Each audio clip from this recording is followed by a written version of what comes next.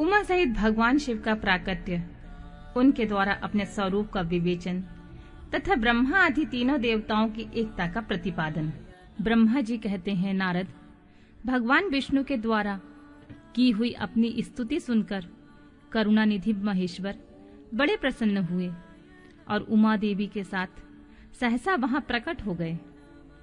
उस समय उनके पाँच मुख, प्रत्येक मुख में तीन तीन नेत्र शोभा पाते थे। भाल देश में चंद्रमा का मुकुट सुशोभित था।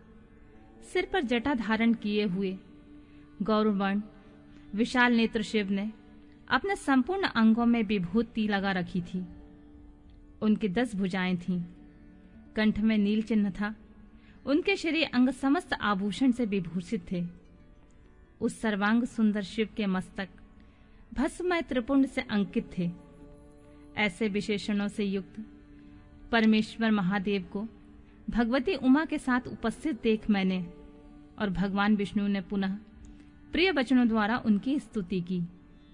तब पापहारी करुणा कर भगवान महेश्वर ने प्रसन्नचित होकर उन श्री विष्णुदेव को शास्त्र रूप से वेद का उपदेश सुनाया। मुने, उसके बाद शिव ने परमात्मा श्री हरि को गुहा ज्ञान प्रदान किया। फिर उन परमात्मा ने कृपा करके मुझे भी वह ज्ञान दिया। वेद का ज्ञान प्राप्त करके कृतार्थ हुए भगवान। विष्णु ने मेरे साथ हाथ जोड़कर महेश्वर को नमस्कार करके पुनः उनसे पूजन की विधि बताने तथा सदुपदेश देने की प्रार्थना की। ब्रह्मा जी कहते हैं, मुने, श्री हरि की यह बात सुनकर अत्यंत प्रसन्न हुए करुणा निधान भगवान शिव ने प्रीतिपूर्वक यह बात कही। सुरश्रेष्ठ गण मैं तुम दोनों की भक्ति से निश्चित ही बहुत प्रसन्न हूँ। तुम लोग मुझ महादेव की ओर देखो। इस समय तुम्हें मेरा स्वरूप जैसा दिखाई देता है, वैसा ही रूप का प्रयत्न पूर्वक पूजन चिंतन करना चाहिए। तुम दोनों महाबली हो और मेरी स्वरूप भूता प्रकृति से प्रकट हुए हो। मुझ सर्वेश्वर के दाएँ बाएँ अंगों से तुम्हारा प्रादुर्भाव हुआ है। ये लोक पितामह ब्रह्मा, मेरे दाहे पार्श्व से उत्पन्न हुए हैं। और तुम विष्णु, मुझ परमात्मा के वांग पार्थ से प्रकट हुए हो। मैं तुम दोनों पर भली भांति प्रसन्न हूँ, और तुम्हें मनोवांछित वर देता हूँ। मेरी आज्ञा से तुम दोनों की मुझमें सुदृढ़ भक्ति है। ब्राह्मण, तुम मेरी आज्ञा का पालन करते हुए जगत की सृष्टि करो। वत्स विष्णु तुम इस चराचर जगत का पालन करते रहो। ऐसा कहकर भगवान शंकर ने हमें पूजा की उत्तम विधि प्रदान की, जिसके अनुसार पूजित होने पर वे पूजक को अनेक प्रकार के फल देते हैं। शंभु की उपयुक्त बात सुनकर मेरे सहित श्री हरि ने महेश्वर को हाथ जोड़कर प्रणाम करके कहा, प्रभु, यदि हमारे प्रति आपके हृदय में प्रीति उत्पन्न हुई है और यदि आप हमें वर देना आवश्यक समझते हैं। तो हम यही वर मांगते हैं कि आप में हम दोनों की सदा अनन्य और अविचल भक्ति बनी रहे। ब्रह्मा जी कहते हैं, मुने, श्री हरि की यह बात सुनकर भगवान हर ने पुनः मस्तक झुकाकर प्रणाम करके हाथ जोड़े खड़े हुए उन नारायण देव से कहा, मैं सृष्टि पालन और सहार का करता हूँ, सगुण और निर्गुण हूँ। तथा सच्चिदानंद स्वरूप, निर्विकार पर ब्रह्म परमात्मा हूँ। विष्णु, सृष्टि, रक्षा और प्रलय रूप गुणों अथवा कार्यों के भेद से ही ब्रह्मा, विष्णु और रुद्र के नाम धारण करके तीन स्वरूपों में विभक्त हुआ हूँ। वास्तव में मैं सदा निष्कल हूँ। विष्णु, तुमने और ब्रह्मा ने मेरे अवतार के निमित्त जो स्तुति की है, तुम्हारी उस प्रार्थना को मैं अवश्य सच्ची करूँगा, क्योंकि मैं भक्त वत्सल हूँ।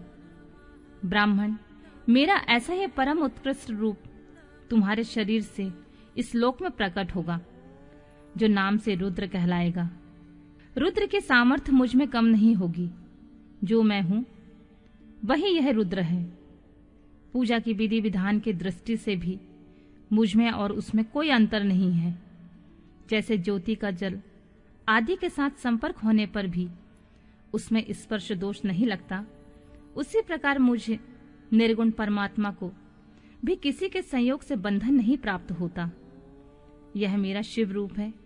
जब रुद्र प्रकट होंगे, तब वे भी शिव के तुल्य होंगे। महामुने, उनमें और शिव के परायेपन का भेद नहीं करना चाहिए। वास्तव में एक ही रूप में सब जगत में व्यवहार निर्वाह के लिए दो रूप में विभक्त हो गया। अतः शिव और रुद्र में कभी भेद बुद्धि नहीं करनी चाहिए। वास्तव में सारा दृश्य ही मेरे विचार से शिव रूप है। मैं, तुम, ब्रह्मा तथा जो ये रुद्र प्रकट हुए हैं, वे सब के सब एक रूप हैं। इनमें भेद नहीं है। भेद मानने पर अवश्य ही बंधन होगा, तथापि मेरा शिव रूप ही सनातन है। यही सदा सब रूपों का मूलभूत कहा गया है। यह सत्य, ज्ञान और अनंत ब्रह्मा है। ऐसा जानकर सदा मेरे मन में यथार्थ स्वरूप का दर्शन करना चाहिए। ब्राह्मण, सुनो, मैं तुम्हें एक गोपनीय बात बता रहा हूँ। मैं स्वयं ब्रह्मा जी की भ्रुकुटी से प्रकट होऊँगा। गुणों में भी मेरा प्राकट्य कहा गया है। जैसा कि लोगों ने कहा है, हर तामस प्रकृति के हैं। वास्तव में उस रूप में अहंकार का वर्णन हुआ है। उस अहंकार को केवल तामस नहीं, वैकारिक सात्विक भी समझना चाहिए।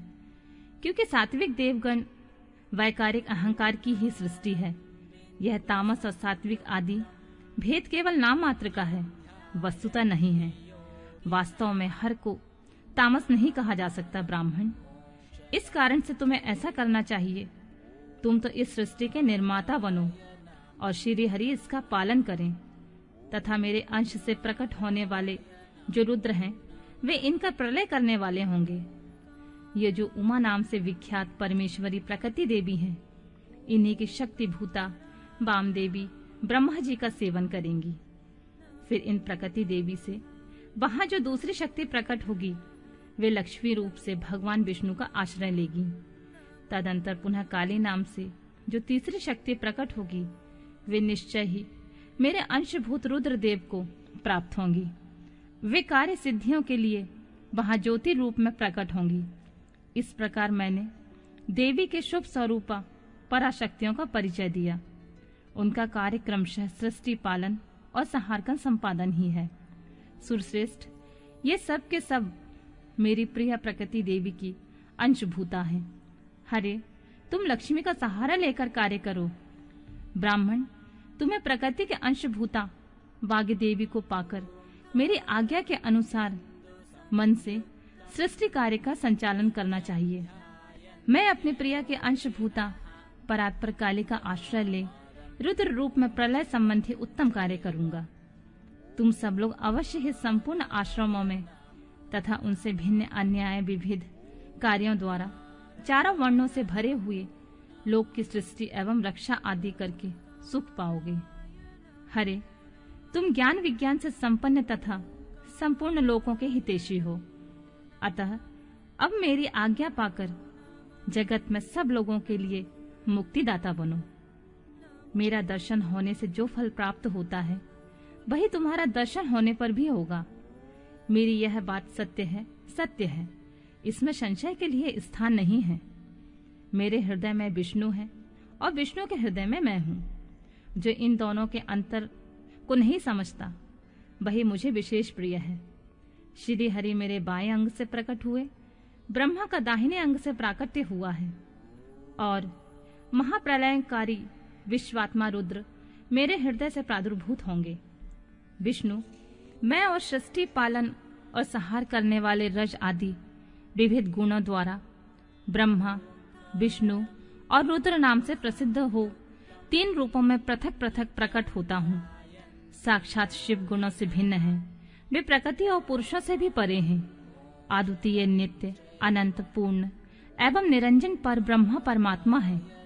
तीनों लोकों का पालन करने वाले श्री हरि भीतर तमो गुण और बाहर सप्त गुण धारण करते हैं। त्रिलोकी का संहार करने वाले रुद्रदेव भीतर सत्व गुण और बाहर तमोगुण धारण करते हैं, तथा त्रिभुवन की सृष्टि करने वाले ब्रह्मा जी बाहर और भीतर से रजोगुणी ही हैं। इस प्रकार ब्रह्मा, विष्णु तथा रुद्र, इन तीन देवताओं में गुण है, परंतु शिव गुणातीत माने गए हैं। विष्णु, तुम मेरी आज्ञा से इन सृष्टिकर्ता पितामह का प्रसन्नता पूर्वक पालन करो। ऐसा करने से तीनों लोकों में पूजनीय हो जाओगे।